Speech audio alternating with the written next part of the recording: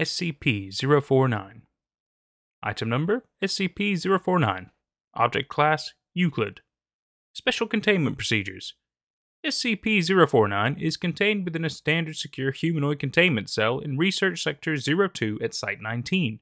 SCP 049 must be sedated before any attempts to transport it. During transport, SCP 049 must be secured within a Class 3 humanoid restriction harness, including a locking collar and extension restraints, and monitored by no fewer than two armed guards. While SCP 049 is generally cooperative with most Foundation personnel, outbursts or sudden changes in behavior are to be met with elevated force. Under no circumstances should any personnel come into direct contact with SCP 049 during these outbursts. In the event SCP 049 becomes aggressive, the application of lavender, L. multifida, has been shown to produce a calming effect on the entity. Once calmed, SCP 049 generally becomes compliant and will return to containment with little resistance. In order to facilitate the ongoing containment of SCP 049, the entity is to be provided with the corpse of a recently deceased animal, typically a bovine or other large mammal, once every two weeks for study. Corpses that become instances of SCP 049 2 are to be removed from SCP 049's containment cell and incinerated. SCP 049 is no longer permitted to interact with human subjects, and requests for human subjects are to be denied. Temporary Containment Procedure Update See Addendum 049.3. Per Containment Committee Order 049.S19.17.1, SCP 049 is no longer permitted to interact directly with any members of Foundation staff, nor is it to be provided with any additional corpses to be used in its surgeries. This order shall persist indefinitely until such time a consensus regarding the ongoing containment of SCP 049 can be reached. Description. SCP 049 is a humanoid entity, roughly 1.9 meters in height, which bears the appearance of a medieval plague doctor while SCP 049 appears to be wearing the thick robes and the ceramic mask indicative of that profession, the garments instead seem to have grown out of SCP 049's body over time, and are now indistinguishable from whatever form is beneath them. X rays indicate that despite this, SCP 049 does have a humanoid skeletal structure beneath its outer layer. SCP 049 is capable of speech in a variety of languages, though tends to prefer English or medieval French. While SCP 049 is generally cordial and cooperative with Foundation staff, it can become especially irritated or at times outright aggressive if it feels that it is in the presence of what it calls the pestilence. Although the exact nature of this pestilence is currently unknown to Foundation researchers, it does seem to be an issue of immense concern to SCP 049. SCP 049 will become hostile with individuals it sees as being affected by the pestilence, often having to be restrained should it encounter such. If left unchecked, SCP 049 will generally attempt to kill any such individual. SCP 049 is capable of causing all biological functions of an organism to cease through direct skin contact. How this occurs is currently unknown, and autopsies of SCP 049's victims have invariably been inconclusive. SCP 049 has expressed frustration or remorse after these killings, indicating that they have done little to kill the pestilence that will usually seek to then perform a crude surgery on the corpse using the implements contained within a black doctor's bag it carries on its person at all times. While these surgeries are not always successful, they often result in the creation of instances of SCP 049 2.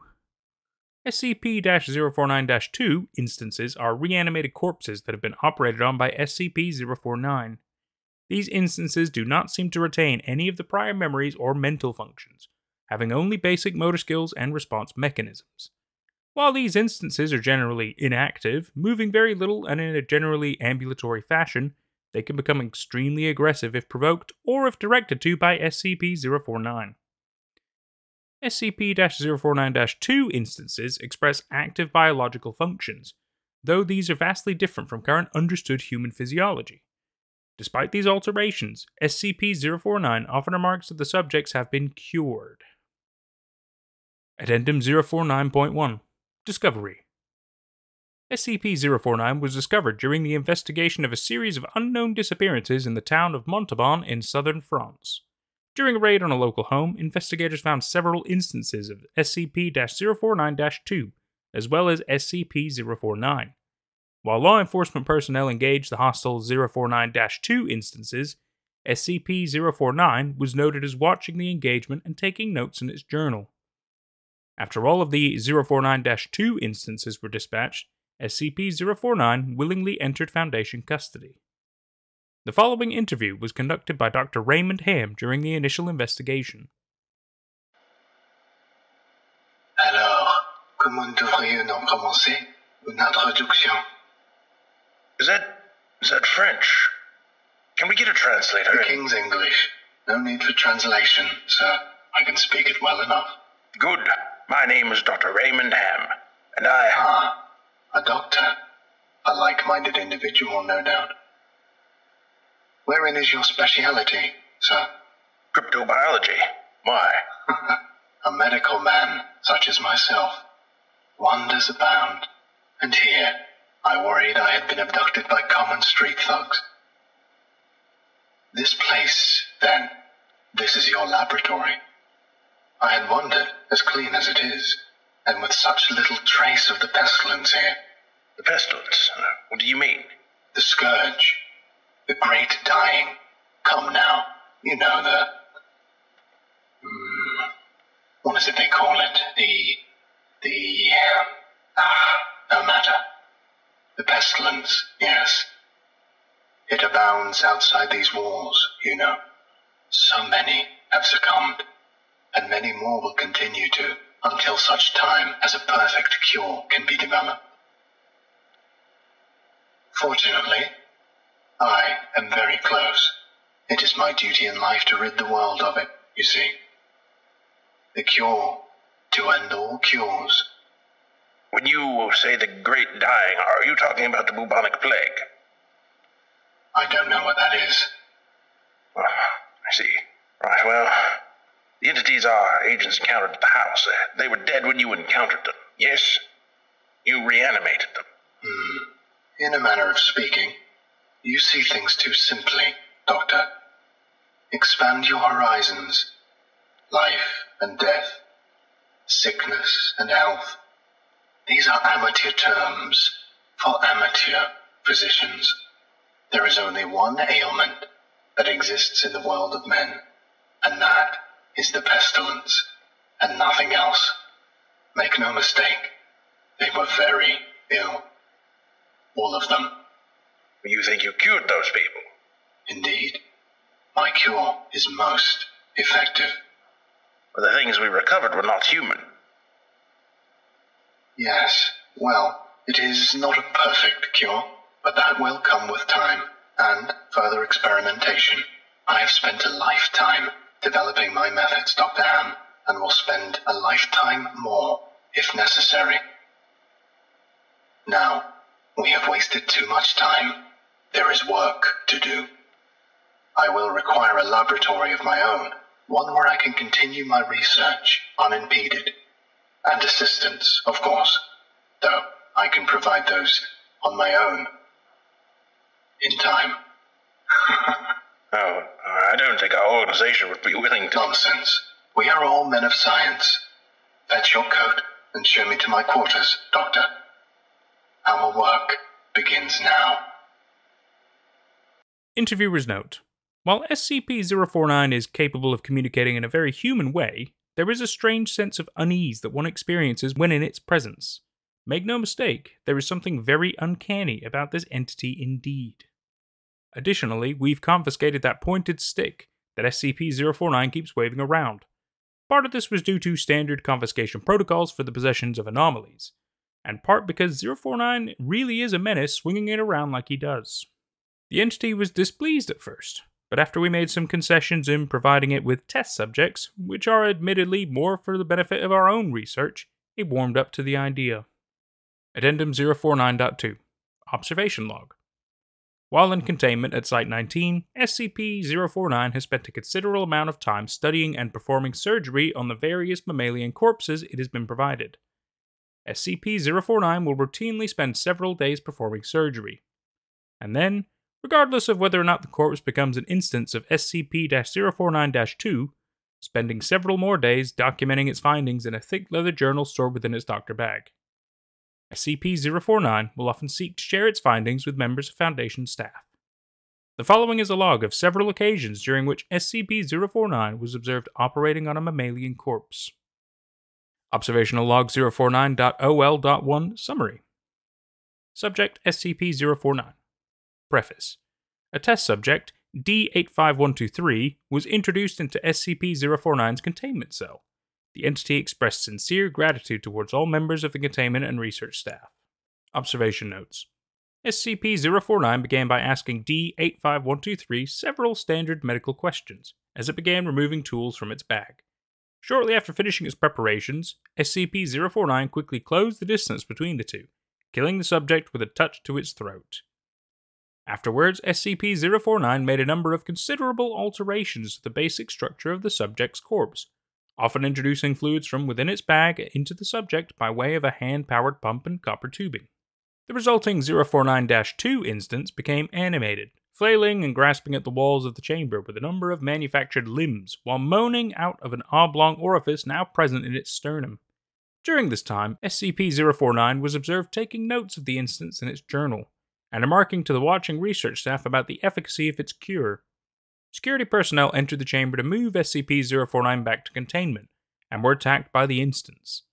The security team dispatched the 049 2 instance, and SCP 049 returned to containment with no resistance stating that it was pleased with the results. Observational Log 049.OL.2 Summary Preface SCP 049 was provided with the corpse of a recently deceased goat. SCP 049 expressed gratitude at the provision. Observation Notes SCP 049 operated on the goat corpse for several days, eventually resulting in an instance of SCP 049 2. SCP-049 expressed pleasure in this outcome, though admitted the disease was still in its nascent stage. My veterinarian practice is rudimentary, but the patient responded well to the procedure. OL3 Summary Preface SCP 049 was provided the corpse of a recently deceased orangutan. SCP 049 expressed noted gratitude at the provision, due to the similarities between the orangutan and common human physiology. Observation Notes SCP 049 spent several days operating on the orangutan, reanimating it several times. However, SCP 049 appeared to be discontent with the results it experienced, returning to the creature three times after its initial reanimation for additional work.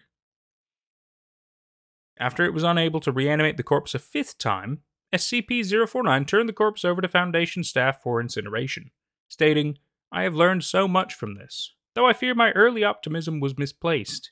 I hadn't yet come across such a, a stumbling block on my road to the cure.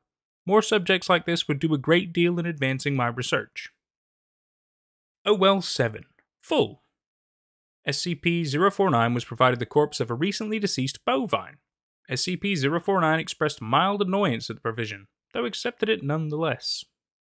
Observation Notes SCP 049 spent several days operating on the bovine corpse, breaking only to dine on a requested dinner of thin crackers, salted pork, and hard cheese. Beginning first by embalming the corpse, SCP 049 was observed producing a number of long syringes from its bag, each containing a different dark viscous fluid. SCP 049 described these fluids as essences of the humors, and elaborated by saying the pestilence may bring about a systemic imbalance. In such a case, before true healing can begin, one must find the humors in balance or the body will reject the cure. Over the next few days, SCP 049 spent a considerable amount of time adjusting the organs of the bovine corpse with a number of large metal instruments. After eight days, SCP 049 produced a lightning rod, which Dr. Ham exchanged for an electric cattle prod attached to an extension cord, and struck the corpse in several locations. This action seemingly had the effect of reanimating the bovine, which once again became ambulatory despite the inversion of the head and reorientation of its limbs. We've watched you work for several weeks now, and honestly, I'm not sure I understand what you're doing. Could you describe your process in detail? Oh, goodness, now. The process is most intensive. As I said to your assistant, the best instruction you will find about my methods are here uh, in my journals, as I have kept exhaustive records of my work there. I see. Well, my concern, Doctor, is that we still don't understand what you're seeking to cure, how it manifests or how turning these creatures into quasi living, mindless drones helps in that effort. You do not understand the pestilence, even after all this time. Doctor, it is an unspeakable horror, one that has shown its true face many times before and will again. I find myself blessed with the wisdom and good senses needed to root it out and destroy it. But many, like yourself, cannot. It is a cruel judgment, I fear, to be at the mercy of a disease you cannot fully comprehend. That still doesn't answer my question. How's your cure any kind of cure at all? It is a cure. You may laugh at my efforts if you please, but do not besmirch the good name of scientific progress that has developed this great mercy. What you short sightedly see here is a life better than any this creature could have hoped for.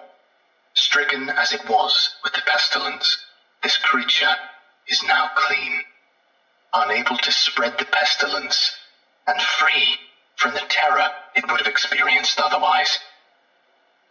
This is hardly a creature at all, Doctor. It's not even. Do not jape with me, sir. You and your colleagues are like so many others, unable to look past minor setbacks to see the salvation taking place before your very eyes. Do you wait to remove rotten timbers until the whole collapses on top of you? No. You find them and you pull them out and replace them with those untouched by rot. And most of all, you do not simply mock the structure because it now looks different to you. It is strong. It is free of disease. I'm sorry. Didn't mean to agitate you. I, I'm just trying to understand. Yes. Well, do mind your words in the future, Doctor. I am a professional, but even professionals may feel the bite of pride in dealing with criticism of their masterpiece. I will forgive this as an act of good faith between colleagues. Is there anything else I can help you with? No, that will be all. Another test subject on the usual schedule. You know my preference of subjects with more human anatomies. Attending researcher's note SCP 049 does seem to genuinely want to help other humans, though it has not yet been able to provide a concrete example of what exactly it is trying to save us all from. I have watched it now over several weeks, and while the outcomes do not seem to ever change, SCP 049 continues to claim that it is growing closer to its perfect cure. I think the entity may be more aware of the reality of these outcomes than it would like us to think. Addendum 049.3 April 16th, 2017. Starting shortly after SCP 049's initial containment, Dr. Ham conducted a number of interviews with the subject regarding its anomalous properties, and over time began to note its displeasure with its subjects in the SCP 049 2 instances. This continued for a period of several months, during which SCP 049 never exhibited any aggressive behaviors. On April 16, 2017, as Dr. Ham was entering SCP 049's test chamber to conduct another routine interview, the entity began to grow anxious and asked Dr. Ham if he was feeling well. Following protocol, Dr. Ham reminded SCP 049 that the interview was required, after which the entity became hostile and attacked Dr. Ham, killing him. Due to a lapse in security protocol, and because Dr. Ham did not activate the in chamber emergency system, Dr. Ham's corpse was not discovered until three hours later, by which point SCP 049 had converted it into an instance of SCP 049 2. In the aftermath of this incident, SCP 049 was interviewed by Dr. Theron Sherman. I need you to explain yourself. SCP 049, you are being directed to explain your actions, and I will remind you that failure to cooperate will result in further restrictions during your containment. My actions do not need to be explained. You killed Raymond Ham, and then butchered him until he. Not dead. No, not, not dead. He is, he is cured. Cured? Cured of what? The pestilence, sir. I had thought you, at least, would realize what luck it is. I detected it before. What pestilence? You keep going on and on about this pestilence, but you have not once been able to properly identify this disease. What could you have possibly seen in him today that you had not seen so many times before? That it would be worth his life? He. The pestilence presents and progresses in unforeseeable fashions, and has a queer way of. of creeping into the unprepared. And. Call it what you want, Doctor. It was a mercy I did to him. He is cured. He is a vegetable. I. I would not expect you to understand. You and your. your ilk have proven time and time again not to be men of science, but men of. of emotion. You cannot appreciate the horrors I have seen. Those many millions who have succumbed to the pestilence and been changed. Your cure cost Ray his life. No, good sir, I have saved it. You would allow this world to slip back into the, the despair of disease and death, ignoring that I have created a miracle. And What disease? What pestilence? He was a healthy man. He was a good doctor. I'm offering it freely to the afflicted. You are not worth this argument, sir. You are short sighted and foolish. Dr. Ham was sick, and I. I cured him. I am the only one who can do this. My work must continue. There is still so much to learn, so much. I've had do, enough of this. And Consider your allowances can be saved. Even you. Welcome to containment, you 049. Might be saved. We're done here. I can save them all. I can cast down this plague once and for all. I can do this. Only me. I. I saved. him. I saved him. Dr. Ham. I. I cured him. He was sick. I know he was sick. I know he was. And I. You are all sick, but I. I can save you. I can save all of you because I. I am the cure. Addendum 049.4 Post Incident Report Interview. The following interview is an excerpt of the April 16, 2017 049 Incident Report. The interview was conducted by Dr. Elijah Itkin and took place three weeks after the start of the initial investigation. SCP-049, we are conducting this interview to close out our investigation of your actions taken on April 16th that resulted in the death of a staff member. Do you have any comments to make? Only that I look forward to the day when you will allow me to resume my work. I have spent the last few weeks compiling my notes and constructing a new theory for how the pestilence was able to infect someone in such an insidious manner that I nearly couldn't detect it.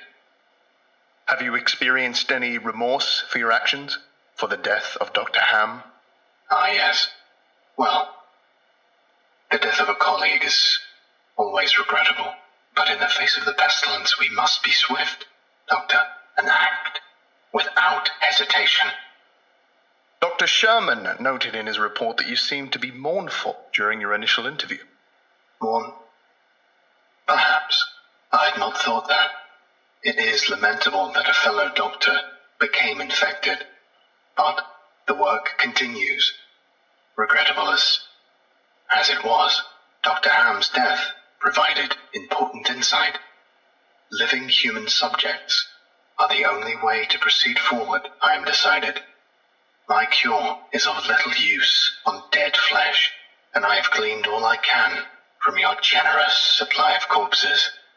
My desires turn towards tending to those still living who suffer from the disease. I'm afraid you're going to be disappointed. Oh, Doctor, I wouldn't be so sure. Footnotes The robes and gloves are identical to a thick hide built upon the skin, while the mask is composed of a kind of chitin growing out of the bones of the face.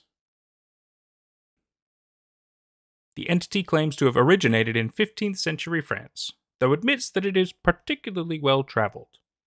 The space within this bag is seemingly anomalously large, as SCP 049 has been observed pulling objects larger than the bag itself from within it in order to operate on deceased subjects. SCP 049 had stated its desire to work on human subjects several times between the, this occasion and the earlier provision of an orangutan, noting its discontentedness when they would not be provided.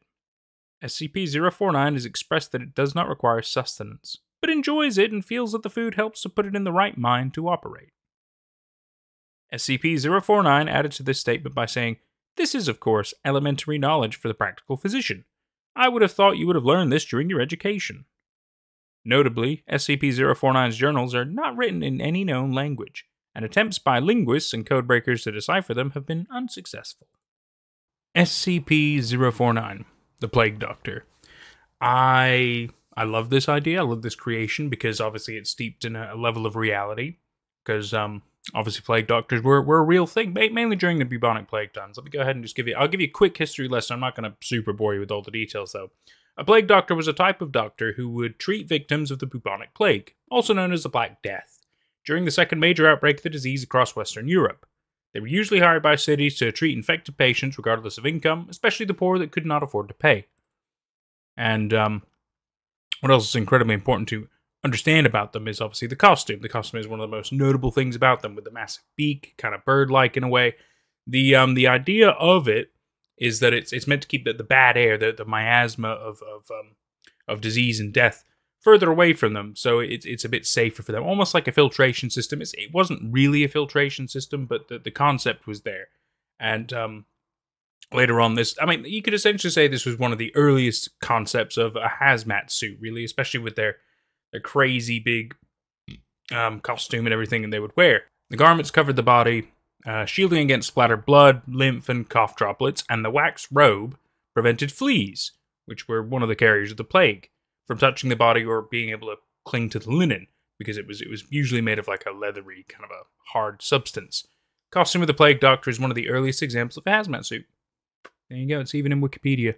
Not that Wikipedia is the most accurate, but uh, you know, certainly certainly has some truth. Yeah, I'm not gonna not gonna bore you too much more with that. I think uh, you, you're welcome to look that kind of stuff up. I'm, I'm happy to give you history lessons if you want me to, but uh, that's not what we're here for. Let's uh, let's keep talking about SCP-049. So, what I love about it is the fact that he he in his own mind is doing the right thing. He's doing the good the good work. He's doing what his job is supposed to be. And yet again, not asking for pay, just just expects to be able to conduct his research and learn what he can. But then there's obviously the confusion that lies in the fact that he's, he's trying to, treat, to to to work on this this pestilence, you know, which is a vague term in this sense because he never fully defines it. He just kind of gives you very obscure answers, which makes it like he's able to kind of say whatever he wants and just continue doing things. And I guess that's all fine. He's also got his crazy medical bag, his journal, which although he says he allows other people to read it, I don't really know if anybody else has. To be fair, there might be reasons for that. Maybe he gets angry. I don't know. I don't know. But he reanimates corpses, and that's very interesting because then you're you're kind of delving into the idea of like uh, I mean another mad scientist, for example, would be um would be Doctor Frankenstein, who reanimated a monster, a corpse, whatever you want to. Uh, that was multiple body parts and stuff. But either way, the idea was of bringing something back to life as as a cure, as a you know fighting against death it's it's it's creepy, it's strange, and he's he's observing, he's learning from them, and he even like changes body parts around, including internal organs and things. It's it's interesting. It's very very interesting. There's a lot of stories tied to SCP-049 as well. Uh, a lot, like a lot of stories, which I mean would be really cool to read sometime. I, I might I might give a little glance. Might make a few videos on them if, if you want. If you want more SCP-049 content, let me know. I'll I'll totally do it. No problem. Um, it's interesting. He believes himself benevolent, and yet he commits atrocities, you know? Which is probably why he is contained. And that's probably for the best, if you ask me. Yeah, because that's pretty dark. Imagine if he had free reign to just kind of do what he wanted to do, create his own little army. I don't know if he'd really be like taking over the world, but give him enough time and he'll convert enough people to his cure.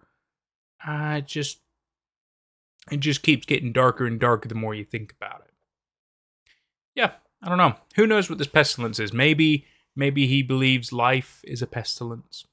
Maybe that's why he is happy to kill people and convert them into a reanimated corpse. I don't know. I really don't know. It's something to ponder about. What do you think the pestilence is? Let me let me sh- share your theories and your thoughts down below with me. I want to hear some ideas. Let me know what SCP I should cover next, by the way. Thank you so much for watching. This has been Nate at Night, and uh, I'll see you for the next one. Take care. Thank you so much to our Patreon members and YouTube members for making all this content possible. You know who you are.